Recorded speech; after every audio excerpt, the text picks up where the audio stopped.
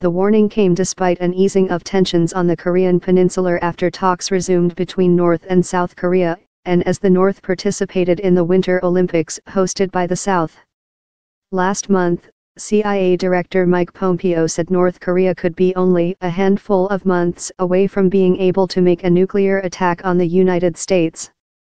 Pompeo told Tuesday's hearing that despite the North-South talks, there was no indication there's any strategic change in North Korean leader Kim Jong-un's desire to remain a nuclear threat to the United States.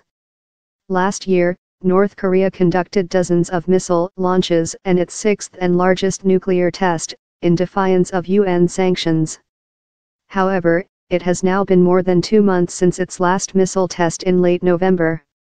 In the wake of accelerated missile testing since 2016, North Korea is likely to press ahead with more tests in 2018, and its foreign minister said that Kim Jong-un may be considering conducting an atmospheric nuclear test over the Pacific Ocean, he said.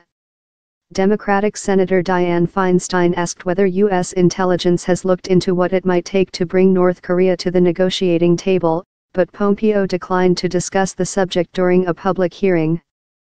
Feinstein said she had participated in a classified briefing recently on North Korea and described it as difficult and harsh.